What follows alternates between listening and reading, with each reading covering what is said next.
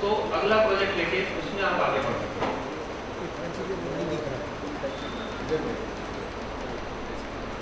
अच्छा कई लोग क्या है, यहाँ पर प्लान भी देते हैं और साथ में उसका कंप्लीशन भी दे देते हैं। ये भी बहुत जगह पाया गया है, हरे रंग में प्लान और लाल रंग में उसका कंप्लीशन जबकि यहाँ तो आप सिर्फ़ प्लान दिखा रहे हैं कंप्लीशन यहाँ दिखाने का क्या औचित्य है? इससे जज को ये समझ में आता है कि आपने इसको अच्छे तरीके से नहीं समझा क्या उसका सीरियसली नहीं डेफिनेटली आपके माइनस साइड में जाएगा। गोल में भी कुछ थोड़ा सा प्रॉब्लम होता है। गोल एक्चुअली होना क्या चाहिए? गोल होना चाहिए कि आपका जो प्रॉब्लम है, उससे रिलेटेड होना चाहिए। होता यह है कि प्रॉब्लम तो कुछ और है, और गोल में हमने जो दिखाया है, जो हम अचीव करने के लिए गोल की बात कर रहे हैं, उसका प्रॉब्लम से कुछ रिलेशन समझ में नहीं आता। तो इस चीज़ का भी ध्यान रखिए कि आपका जो प्रॉब्लम है और जो गोल है, एक ही होगा वो, अलग तो होगा नहीं। तो ये इसमें क्यों डिफरेंस आता है?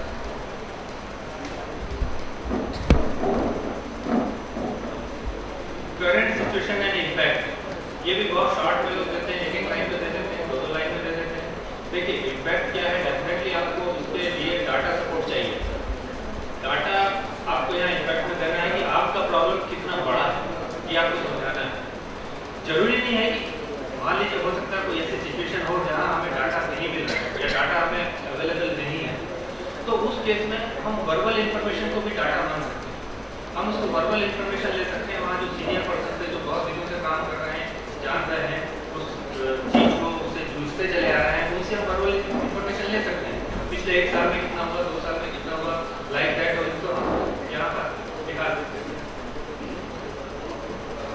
अच्छा हाँ objective and goal shall be set जैसा कि हमारा गाइडलाइन है जब हमको हमारा प्रॉब्लम मिल गया और प्रॉब्लम कितना सीवियर है ये हमको समझ में आ गया हमने आपस में डिफाइन कर लिया एक दूसरे से बात करके तो हमें अपना गोल और जो भी हमारा ऑब्जेक्टिव सेटिंग है वो यहीं पर करना है देखा गया है कि कुछ लोग फोर्थ जो स्टेप है डाटा एनालिसिस उसके बाद में गोल कहीं एक पर रूट कॉज एनालिसिस में जब वाइटल रूट कॉज निकल जाता है, उस रूट का जो वाइटल रूट कॉज निकला है, उसको कैसे दूर किया जाए, वहाँ पर वो गोल और ऑब्जेक्ट ऑब्जेक्टिव जो हमने दिया। कुछ लोगों ने फोर्सिंग प्रोबेबल रेजिस्टेंस के बाद में इसको दिया तो ये भी थोड़ा जरा अलग टाइप का है इसको हमेशा आपको डिफाइन द प्रॉब्लम जो आपका है उसके लास्ट में आप वहीं पर setting of objective and goal दीजिए एंड गोल और objective needs to be clear इसमें कुछ कंफ्यूजन है कि गोल क्या होना चाहिए? ऑब्जेक्टिव क्या होना चाहिए? तो इसको थोड़ा सा क्लियर कीजिए। और दूसरा चीज़ कि गोल गोल गोल एक्चुअली क्या होना चाहिए? गोल एक न्यूमेरिकल वैल्यू होनी चाहिए, जो कि ये बताए कि how much percentage of your problem you are going to attend आपका जो प्रॉब्लम है, आपके हिसाब से कितना बड़ा है और वो जितना बड़ा प्रॉब्लम आज की तारीख में है अगर वो हंड्रेड परसेंट है चाहे आपने जिसमें दिखाया हो आवर्स में दिखाया हो पैसों में दिखाया हो या जिस भी फ़ैशन में दिखाया हो उसका कितना परसेंट आप रिड्यूस करने जा रहे हो और कुछ लोग तो दिए ही नहीं गोल और ऑब्जेक्टिव है ही नहीं। तो ये भी थोड़ी सी ध्यान देने वाली बात है। Analysis of the problem analysis of the problem में ज़्यादातर करीब सेवेंटी परसेंट लोगों ने ओ डब्ल्यू लिख दिया है व्हाट इज़ द प्रॉब्लम और जो प्रॉब्लम उन्होंने very first slide very first page में लिखा था उसको यहाँ रिपीट कर दिया उसके बाद में वेरी प्रॉब्लम अराइजेस उसमें भी जो डिफाइनिंग में जो चार सेंटेंस लिखे थे उसी का एक सेंटेंस ला करके यहाँ डाला तो ये ओ डब्ल्यू वन एस का मतलब ये नहीं है कि आपने वाट वैन वेयर लिख दिया, उसके बाद एक सेंटेंस आपने लिख दिया। ये इसका कतई मतलब नहीं है। आप देखिए इसमें करीब एक वेटेज है सिक्स मार्क्स का है इसमें एक सेंटेंस लिखने से काम नहीं चलेगा। अब ये कंफ्यूजन हो सकता है कि भाई, ठीक है, एक सेंटेंस ना लिखे तो हम लिखें क्या? देखिए क्या है डिफाइनिंग द प्रॉब्लम जो हम करते हैं, हमारा जो मेंबर्स जो रहते हैं, उन्होंने किसी भी एक एक मेंबर ने एक प्रॉब्लम दिया होगा। सभी छः सात मेंबरों ने एक एक प्रॉब्लम दिया होगा। जो फाइनल सिलेक्शन हुआ, उसकी मैं बात कर रहा हूँ। इनिशियल की फाइनल सिलेक्शन मान लो पाँच छः प्रॉब्लम का हुआ है, उसके बाद में से आपने एक प्रॉब्लम को सिलेक्ट किया है और उस प्रॉब्लम को सॉल्व करने जा रहे हो। तो उसमें इंडिविजुअल का वो प्रॉब्लम रहता है। तो हो सकता है कि वो इंडिविजुअल जो है, उस प्रॉब्लम के विषय में ज़्यादा सोचता हो, ज़्यादा उसमें जाना हो। बनस्बत बाकी पाँच ग्रुप मेंबर्स के तो हम लोग आपस में वहाँ डिस्कशन करते हैं, वो होता है हमारा डिफाइन द प्रॉब्लम अब उसके बाद में एनालिसिस ऑफ़ प्रॉब्लम है। हमें क्या करना है? एनालिसिस ऑफ़ प्रॉब्लम में हमको प्रॉब्लम को पूरी तरीके से एनालाइज करना है। कैसे एनालाइज करना है। एक तो डाटा लेना है, कितना बड़ा प्रॉब्लम है, क्या है।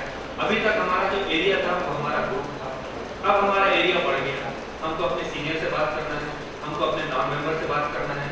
हमको हर ऐसे आदमी से बात करना है, जो कि हमें ऐसा लगता है कि ये इसमें कुछ कॉन्ट्रीब्यूट कर सकते हैं। और ये जो पूरा डिस्कशन है, इस डिस्कशन के रिज़ल्ट को हम पॉइंट वाइज इसमें दे सकते हैं या इस डिस्कशन को हम ये 4W और 1H में स्ट्रेटिफाई करके यहाँ दे सकते हैं तो ये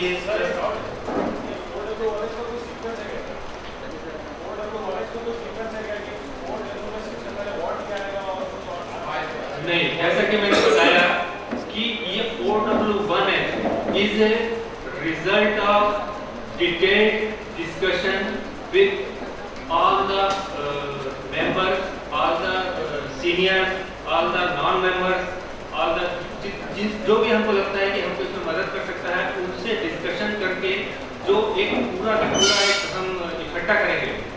क्या क्या डिस्कशन हुआ? उस डिस्कशन को हमको डिवाइड करना ये आप, ज़रूरी नहीं है कि फोर डब्ल्यू वन एच है। आप इसको पॉइंट वाइज भी लिख सकते हैं। ऊपर में सिर्फ़ टाइटल दे दीजिए कि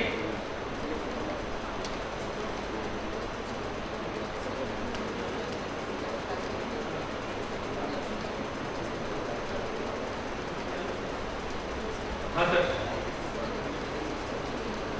नहीं होना चाहिए क्वेश्चन में होना चाहिए और दूसरा कि हर ग्राफ का एक टाइटल होना चाहिए जनरली बहुत सारे ग्राफ ऐसे देखे गए हैं जिनमें कि टाइटल है नहीं और उसके बाद should be supported by brief description why you have given हाँ आप तो ग्राफ आपने दे दिया, बढ़िया है। बट आप क्यों दे रहे हैं उस ग्राफ इसके विषय में कम से कम दो सेंटेंस लिखिए। भाई क्या क्या क्या बताना, क्या चाह रहे हैं? क्या चाह रहे हैं? उसको थोड़ा सा लिखिए, क्योंकि उसमें कई जगह मैं देखता हूँ कि ये लिखा अच्छा दूसरा, ये फोर डब्ल्यू ये four analysis of physics explain करते हैं केमिस्ट्री एक्सप्लेन करते हैं इंजीनियरिंग को एक्सप्लेन करते हैं आयोनिक थ्योरी एक्सप्लेन कर देते हैं। ये कुछ लोग हाँ इंग्लिश लिटरेचर का नॉलेज कितना है? तो इस सब की यहाँ कोई ज़रूरत नहीं है, इस सब की यहाँ कोई वैल्यू नहीं है इसमें आपको कोई मार्क्स नहीं मिलेंगे तो ये सब मत करिए आयनिक थ्योरी जानने की कोई ज़रूरत नहीं है चलिए tables, photo, figures not having title and proper labeling. ये labeling अक्सर मिसिंग रहती है प्रॉपर लेबलिंग नहीं रहती है ये जाना बहुत ज़रूरी है। उसके बाद में photo PPT need some description yes PPT का फोटोग्राफ उठा करके दे देते हैं। और वो ये सोचते हैं कि जब हम प्रेजेंटेशन समझ में नहीं आ रहा है कि वो क्या है, क्यों है। सब सब सब cause are to be thought ये तो बहुत लोगों ने किया है ये गलती, कि उन्होंने अपने हेडर्स लगा दिया है। हेडर्स लगाने के बाद में एक तो कॉज खोज लिया है और बहुत सफिशिएंट जनरली ऐसा होता नहीं है। कॉज का सब कॉज सब क्या थर्टी थ्री का। क्यों भाई? जब फिफ्टी थ्री रूट कॉज है तो थर्टी थ्री का वैलिडेशन क्यों किया? आपको पूरा क्या करना है? राइट इसके विषय में तो हमने चर्चा कर लिया है। Indicate root cause in fishbone diagram by different form और जब फिशबोन डायग्राम बनाते हैं आप उसमें जो आपका रूट कॉज है उस रूट कॉज को आप किसी अलग से उसमें लिखिए ताकि वो क्लियर कट समझ में आए कि इतने आपके ये ये रूट कॉज है and all the root cause shall be shown in fishbone diagram आपके रूट कॉज जो है, जो आपने आगे दिखाया रूट कॉज एनालिसिस में या data analysis on root cause में, वो सारे रूट कॉज फिशबोन डायग्राम में होने चाहिए।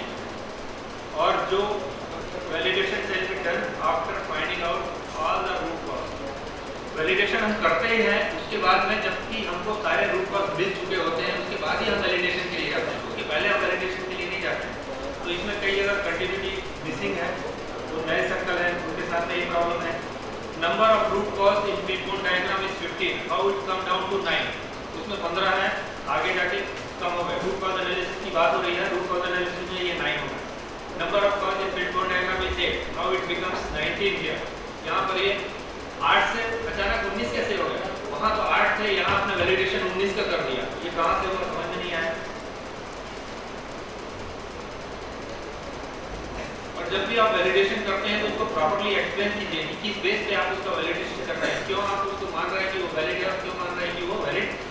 नहीं।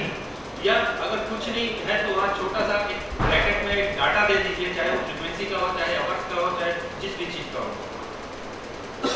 उसके बाद रूट और जो मिला है